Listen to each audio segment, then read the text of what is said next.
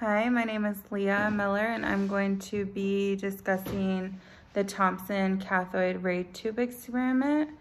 Um, from this experiment, I took out that Thomson discovered the electrons.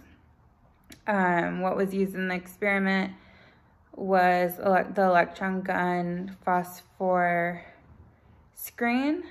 Um, I observed that the screen had green all over it with the small green dot in the center with the grid um, on the screen as well.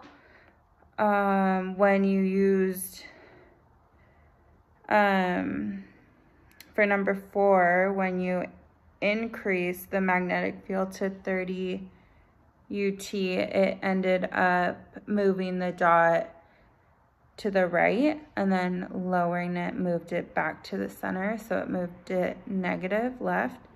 Um, and then when it said to increase the voltage to five centimeters, that was 13 voltage was required.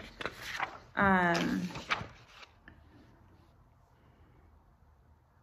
So going into summarizing the data, the deflective distance was five centimeters, electric field 13 voltage, and then the magnetic field 44.